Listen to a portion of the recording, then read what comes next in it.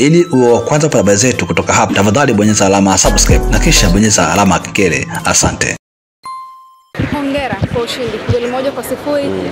alama sitini na mbili kileleni, Ukisema 62 mtu anaweza akaona chache. Mm. Taja wa pili ana ngapi? Na Eh, kwa tofauti ngapi? nane Eh, sema hivyo. Ukisema tu 62 mtu anaweza akajua mzungu kama haja- hajajua msimamo ulivyo. Anaweza akajua labda tof- anafuatia ana sitini na moja au ana 60. Eh, kwa hiyo ukisema pointi zetu sema na wachini. Ili kama kuna mgeni anafuatilia Mpenja TV ajue kabisa hii timu iliyocheza leo ambaye afisa habari wake anaojua tofauti ni pointi nane kati ya anayeongoza na anayefuata. Na nilikuwa nimetoka kuambia wenzako. Waandishi mtusaidie sasa hivi. Sisi Yanga tunahitaji ulinzi wa watu wote kwenye mambo yetu. Tunasafiri kesho alfajiri, tunakwenda Mali, tunaondoka kwenye msimamo, tofauti ni pointi nane, wote ni mashuti, tofauti ni pointi clean sheet ni kumi na nne kwa kumi na moja. Tusaidie kulinda hili jambo, sio tupo kwenye ndege tumefika Ethiopia, clean sheet huku zinaongezeka, pointi huku zinapungua. kwamba ligi itachezeka wakati. Tunataka wote mtupe ulinzi, hii timu ya wananchi, na nyinyi waandishi mtusaidie kulinda. Tofauti ni pointi ngapi tumesema? Clean sheet tofauti ni ngapi? Tukiwa tuko Ethiopia, mtusaidie kuambia watu, maana tulilala kidogo, yaka- yakapigwa matukio kidogo. Kwa safari hii tunaomba wote mlinde, tumekubaliana hizo clean sheet wote mzilinde, kwamba Yanga wameondoka nchini wamekwenda Mali, tofauti ni pointi nane, clean sheet ni kumi na nne kwa kumi na moja ili kitokea mtu anataka kuchezesha, niye mtulindie sasa zile uh, pointi zetu na clean sheet zetu. Eh, Mm. Asante. Utalinda? Nitalinda. Utazilinda? Siku moja utalinda? Wewe kwanza utalinda? Mimi nitalinda. Eh, hii timu hii timu inawapa furaha wa Tanzania. Kwa hiyo na sisi tunataka mtusaidie tunaposafiri kwenda kupambania nchi, mambo kidogo mlinde, sija katokea kutokea ukasikia tumerudi hapa mtu kapoa clean sheet mazoezini tayari kitu zimekuwa 13. Mambo kidogo yanachanganya. Mara timu inacheza tu mchezo wa kirafiki point. Kwa hiyo mjitahidi kutulindia point zetu nane. Ulinzi uwe mwingi. Samaji. Eh. Semaji, uh, goli moja la Clement Mzize kipindi cha kwanza ni kama kuna, kuna, kuna vitu ambavyo wananchi wametoka hapo walikuwa wanasema kwamba tumeshinda, lakini tuna hamu bado, hatujatetema.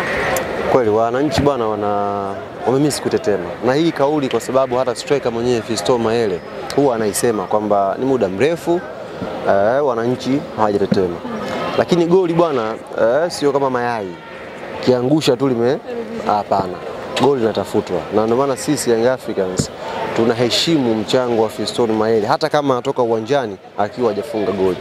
Mechi na Mazembe ametoka hajascore, lakini performance yake ilisaidia timu kupata alama tatu. Kwa ziko mechi ambazo Mayele anaweza asifunge, watu wasiteteme, lakini akawa na impact kubwa ya kuisaidia timu.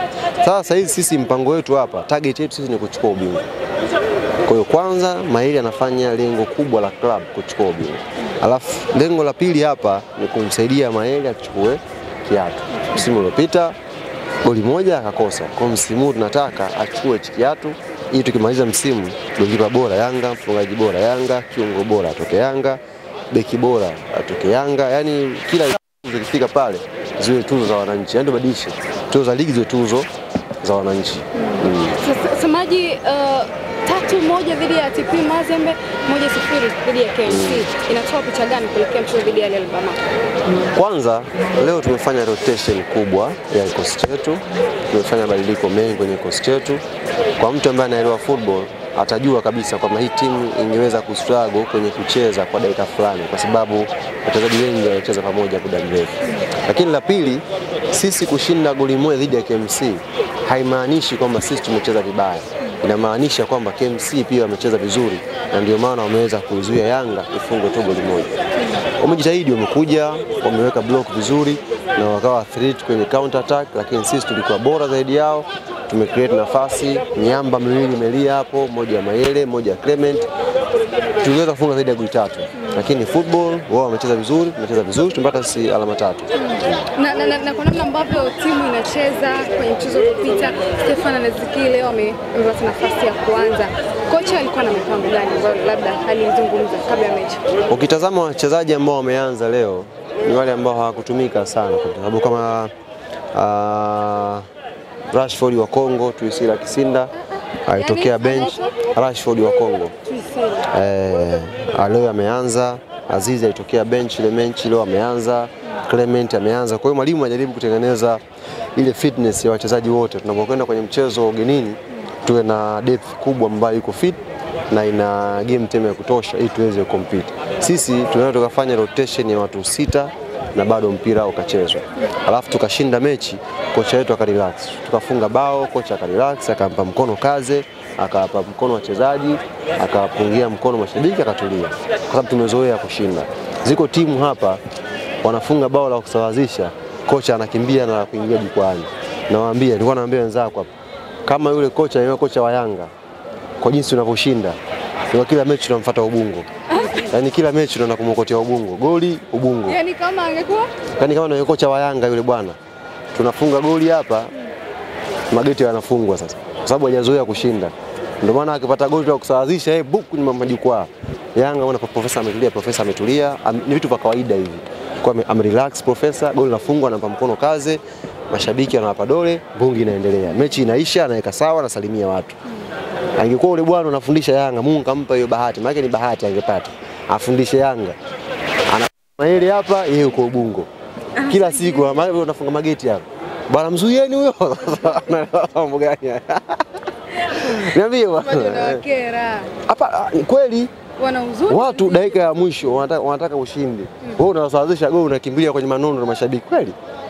Sisi tunampa mtu chuma tatu, kocha ametulia, amerelax, hana pupa. Ndio maana nakwambia yule bwana pengine ana wish, unajua ni matarajio, naye ana, ana, ana, ana ndoto za siku moja afundishe timu kubwa kama Yanga, hii timu ifunge magoli ya kutosha. Sasa kamba na yeye apate muda wa kukimbia tena huko, Eh, bwana goli wewe. Sasa Leo, leo uliingia na style gani? Ile juzi uliingia kinyume nyume. ile ni ya kimataifa, ni special kwa ajili ya kimataifa eh, eh, kimataifa. Leo uliingia mbele. Sasa sisi Yanga always daima mbele, nyuma mwiko. Ile sana ya kimataifa. Na katika mtu ana wakati mgumu wiki hii ni yule babu ile mechi. Haki ya Mungu ana wakati mgumu kwelikweli, kwa sababu watu maelekezo humu hapa watembee kilomita 30 nyuma nyuma, wamefuata amechukua tatu. Mchezo ni ana hali ngumu ule mzee, ana hali ngumu sana. Unajua mtu mzima ukimwambia jambo la ovyo na akalifatisha kwa uovyo wake likaenda kumtokea tofauti, ana- anasikitika sana. Yaani imagine unapewa maelekezo tembeni kilomita 30 kinyume nyume, na nyie kweli mnaingia kwenye gari mnatia rivers mnarudi mpaka Taifa, jamani, Sasa kulikuwa na nguzo bwana. zikawa tatu eh? Iliingiaje kama kuna nguzo? Wewe unaangalia nguzo kwenye kutoka tu hivyoingia. Wewe vipi bwana? Mbona fanya Dar es Salaam tupajui bwana? Kwa hiyo nguzo kwenye kutoka, tu, kwenye kuingia nguzo hazipo. Acha mambo yako bwana. Nasemaje? Yule mzee ana wakati mgumu kwelikweli. Watu kilomita 30 kawatembeza kinyume nyume. Umechukua tatu. Wamekuja kembele mbele wale. Bwana, Semaji, zungumza na wananchi kuelekea mechi ya Real Bamako. Tunaondoka kesho alfajiri.